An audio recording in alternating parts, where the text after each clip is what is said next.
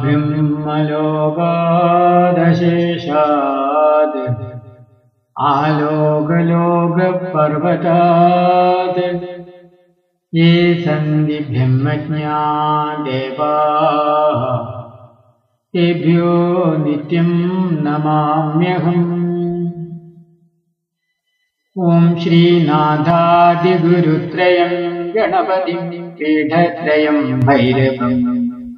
സിദ്ധൗകം വടുകത്രയം പദയുഗം ദ്യുതീക്രമം മണ്ഡലം. വീരാജഷ്ടചതുഷ്കഷ്ടിനവകം വീരാവലി പഞ്ചകം ശ്രീമന്മാലിനി മന്ത്രരാജസഹിതം വന്ദേ ഗുരോർമണ്ഡലം. ഓം ശ്രീ നാരായണീ നമ ഗുരുഗീതയിലെ പത്താമത്തെ ശ്ലോകമാണ് നമ്മളിപ്പോൾ ഇവിടെ വിചാരം ചെയ്യുവാനായിട്ട് പോകുന്നത്. നമുക്ക് ആ പത്താമത്തെ ശ്ലോകത്തെ നോക്കാം. ഗൂഢവിദ്യാജഗന്മായ ദേഹമജ്ഞാന സംഭവം ഉദയം യത്പ്രകാശേന ഗുരുശബ്ദേന കഥ്യതി.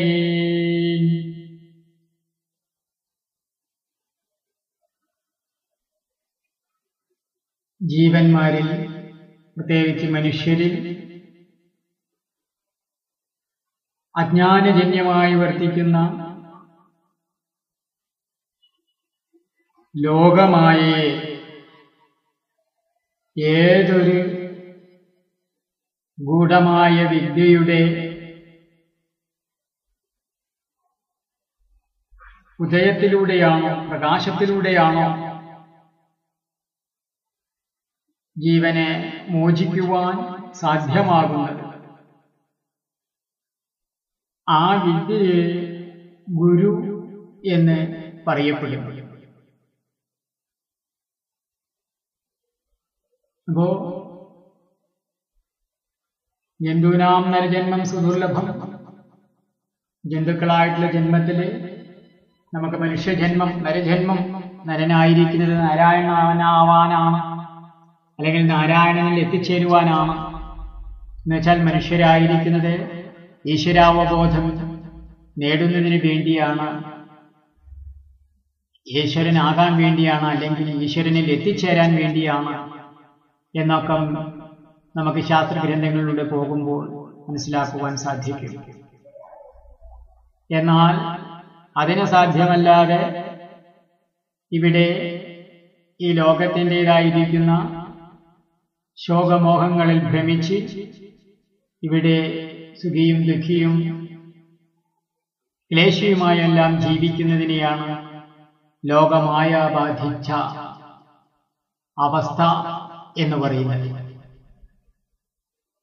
അപ്പൊ അങ്ങനെ ഉള്ളതിനെ ഇല്ലാത്തതായിട്ടും ഇല്ലാത്തതിന് ഉള്ളതായിട്ടും കാണിപ്പിക്കുന്ന സർവേശ്വരന്റെ തന്നെ ശക്തിവിശേഷത്തെയാണ് മായ എന്ന് പറയുന്നത്. അങ്ങനെയുള്ള മായയെ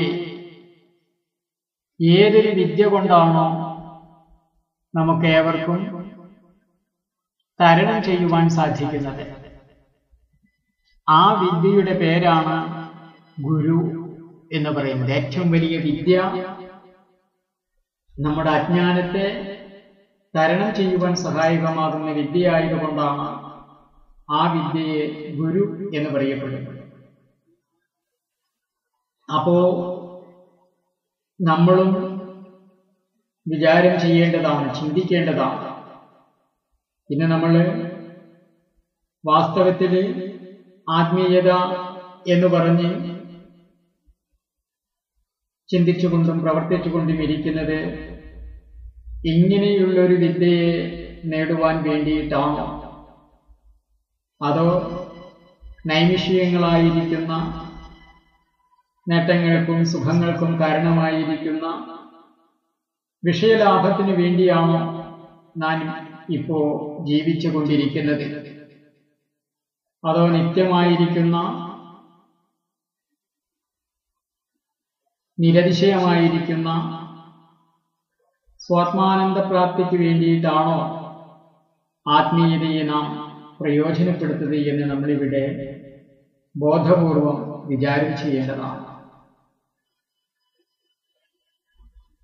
ഇവിടെ ആശയത്തെ തെറ്റിദ്ധരിക്കപ്പെടുമ്പോഴാണ് നമ്മളിവിടെ ദുരാചാരത്തെയും അതുപോലെ തന്നെ അനാചാരത്തെയും സത്യമായിട്ട് പിന്തുടരുവാൻ തയ്യാറാകുക ഗുരുഗീതയിലെ ആദ്യം തന്നെ നമുക്ക് ശ്രവിക്കുവാൻ കഴിയുന്നത് ഗുരുവാണിവിടെ പരമപ്രമാണമായിട്ടിരിക്കുന്നത്. ആ ഗുരു നമ്മളിൽ തന്നെയുള്ള ബോധമാണ്. ആ ബോധത്തെ ഉണർത്തുവാൻ ഏതൊരു ഗുരുവിന്റെ വചനമാണോ നമുക്ക് സഹായകമാകുന്നത്? ആ ഗുരുവാണ് നമ്മെ സംബന്ധിച്ച് യഥാർത്ഥ ഗുരു എന്നാണ് നമുക്ക് ശ്രവിക്കുവാൻ അല്ലെങ്കിൽ ബോധിക്കുവാനായിട്ട് സാധിക്കുന്നത്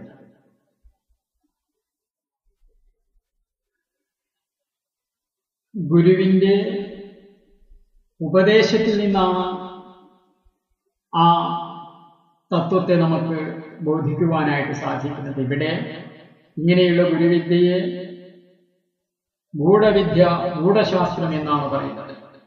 ഈ ഗൂഢം എന്ന് കേൾക്കുമ്പോൾ നമ്മൾ അതിന്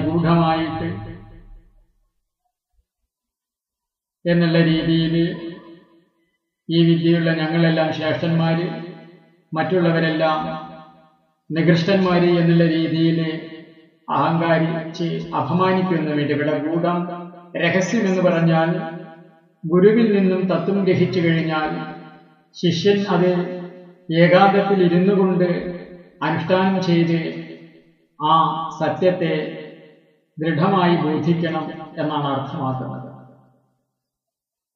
കാരണം ഗുരു നമുക്ക് ഏകാന്തത്തിൽ വെച്ച് ഗുരുവും ശിഷ്യനും മാത്രമുള്ളപ്പോഴാണ് വിദ്യയെ നമുക്ക് നിർദ്ദേശം ഉപദേശം ചെയ്തു തരുന്നത്. കാരണം ഇപ്പൊ നമുക്ക് പരസ്യമായിട്ട് ഇന്നിപ്പോ ഇങ്ങനെ ഇന്റർനെറ്റ് വഴിയും മറ്റും മാധ്യമങ്ങൾ വഴിയും നമുക്ക് വിവരങ്ങൾ കിട്ടിക്കൊണ്ടിരിക്കുകയാണെന്ന് വരികയാണെങ്കിലും ഗുരു ശരീരത്തിൽ ജീവിച്ചിരിക്കുന്നുണ്ട് നമ്മുടെ ഗുരു എന്ന് വരികയാണെങ്കിൽ നമ്മൾ ആ ഗുരുമുഖത്തിൽ നിന്നും തന്നെ വാസ്തവത്തിൽ ശ്രവണം സ്വീകരിക്കേണ്ടതാണ് ഉപദേശം സ്വീകരിക്കേണ്ടതാണ്. ആ ഉപദേശം സ്വീകരിച്ചതിന് ശേഷം ശിഷ്യൻ ആരും അറിയാതെ ഏകാന്തത്തിലിരുന്ന് കാരണം ഒറ്റയ്ക്കിരുന്നു കൊണ്ട് വേണം വിദ്യയുടെ ആ താല്പര്യത്തെ ബോധിക്കുവാൻ എന്നുള്ളത് കൊണ്ടാണ് ഗൂഢവിദ്യ രഹസ്യവിദ്യ എന്നുള്ളതെല്ലാം അർത്ഥമാക്കുന്നത്. അല്ലാതെ ഇതാരോടും ചർച്ച ചെയ്യാൻ പാടാത്തതായ ഒരു വിഷയമോ? അതുപോലെ തന്നെ ആരോടും അറിയിപ്പിക്കേണ്ടതായിരിക്കുന്ന ഒരു വിഷയമോ അല്ല. ആ അർത്ഥത്തിലല്ല ഇവിടെ ഗൂഢവിദ്യ രഹസ്യവിദ്യ എന്ന് പറയുന്നത് എന്ന് നമ്മൾ പ്രത്യേകം മനസ്സിലാക്കേണ്ടതാണ്. ഗുരുപദേശത്തിന് ശേഷം ശിഷ്യനത് തത്വം ബോധിക്കുന്നത് വരെയും ആദരവോടുകൂടി നിരന്തരമായി ആ വിദ്യയുടെ മനനവും നിധിധ്യാസനവും ചെയ്യണമെന്നാണ് നമുക്കിവിടെ മനസ്സിലാക്കുവാനായിട്ടുള്ളത്. മറ്റ് യാതൊരു തരത്തിലും ഈ വിദ്യയെ നമ്മൾ തെറ്റിദ്ധരിക്കേണ്ടതായിട്ടില്ല. എന്തായാലും നമ്മുടെ അജ്ഞാനത്തിനും അഹങ്കാരത്തിനും അഭിമാനത്തിനും കാരണമായിരിക്കുന്നത്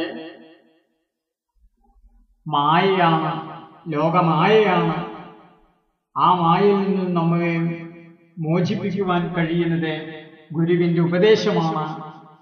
അങ്ങനെയുള്ള ഉപദേശം നൽകുന്ന ഗുരുവെ എല്ലാം കൊണ്ടും ആദരിച്ച് മുന്നോട്ടു പോകണമെന്നാണ് പത്താമത്തേതായിരിക്കുന്ന ശ്ലോകത്തിൽ നിന്നും ഗുരുഗീതാചാര്യൻ നമ്മെ ബോധിപ്പിക്കുന്നത്. ഓം കാമതോ അകാമതോ വാപി യത്കരോമി ശുഭാശുഭം തത്സർവം ത്വയി സന്യസ്തം തത്പ്രയുക്താ കരോമ്യഹം.